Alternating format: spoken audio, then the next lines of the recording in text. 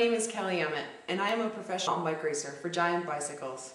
And today I'm here in my garage to show you how to fix a flat on the go. First, we're going to start with removing the wheel. And to do that, we need to go down to our quick release, open up the lever, and then unscrew the nut. And generally you want to give this about 10 to 12 turns to loosen it up enough so the wheel will slide out like that. Next, I like to go and see what's inside my saddlebag. And I typically like to make sure I have a few of these things in there. And the first is a CO2 cartridge,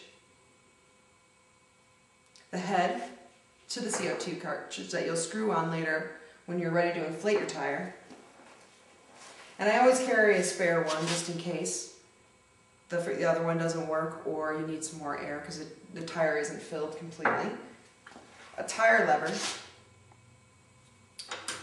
And then, not least but last, the tube. So, back to our wheel. We can see we've got a bit of a flat here. And first thing that we need to do is remove the wire bead over the, uh, uh or remove the tire from the rim. So to do that, Take my trusty tire lever, place it underneath the wire bead. You can kind of see there's a little bit of a hook under there to attach it. And then you want to push the wire bead, push the lever down uh, the wire bead over the rim.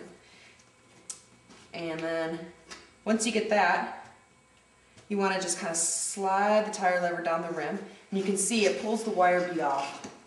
Should be pretty easy to do. Some tires are a little bit harder than others. Um, you can see that this one's pretty easy. And then you need to continue to get the bead off the, off the rim completely. And then pull out the tube that's inside that's been punctured. And another trick that I like to make sure I do is uh, check the inside of the tire and make sure that there's no uh, glass that is, you know, poking through or um, sometimes there's a thorn in there as well. A lot of times people will forget to check and then they'll throw a tube back in there and then they'll get a flat immediately, you know, when, immediately when they get back on the bike. So you really want to make sure that you check the inside of the tire really well for any extra dirt or thorn or glass that might be, might be inside there. So the next you want to take your new tube, that's from inside the seat pack, and it comes with a cap and then a little lock ring on there. And both that stuff you don't really need. Um, a lot of times I just kind of throw it back into the seat pack or put it in my pocket um, and then throw it away later at another time. It's really not that necessary. So then you want to open up the little Presta valve at the end, unscrew that so that it's uh, so that it can get air inside the tube. Now there's two techniques to uh, slightly inflate the tire before you put it back, or slightly inflate the tube before you put it back into the tire. I like to, it's easy for me to kind of blow on the end of the valve stem. Just a little bit, or I'll sometimes just use my CO2. And you can do that by screwing on the head there. And you're going to feel it when it gets a little bit tight, then you know that the CO2 cartridge is being punctured. So um, to get the air to come out, you need to turn the CO2 the opposite direction. And so kind of place it on there. And I'm just going to turn it a little bit just to put a little bit of air in the tube. And this basically helps you from getting a pinch flat when you're putting the uh, wire bead back on the rim again. So and you don't want to put too much air in there because then it would be too, it's too hard to get the tire back on. So you just kind of want to have the tube look like that. So then you're going to place it back inside the, inside the tire there. And you want to look for the valve stem hole.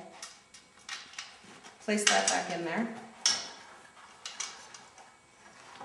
Put your tube back inside the tire there, like that. And then I always like to start right at the top of the valve stem when I'm putting the wire bead back on and kind of just work it around the tire like that.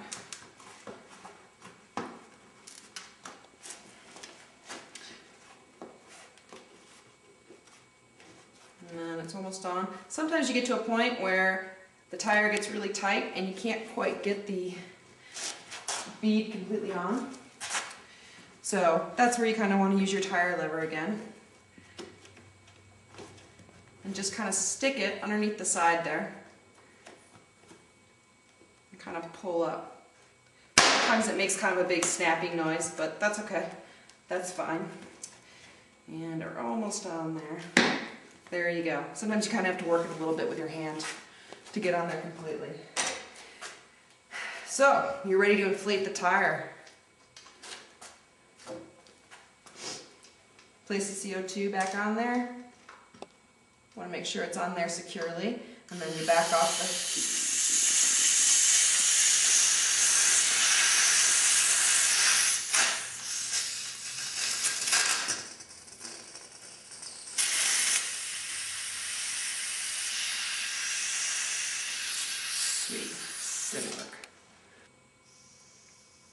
the. All right, now that our tire is inflated,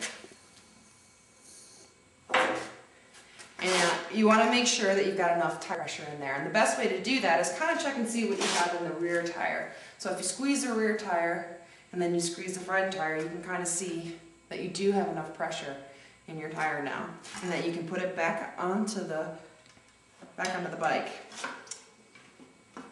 So, just basically want to slide it in, screw down the nut again, and I think we did about 10 to 12 turns last time. And then sometimes you need to check the lever and see if it's tight enough. Sometimes it's too tight like that. You just want to back off the bolt a little bit, and then there you go.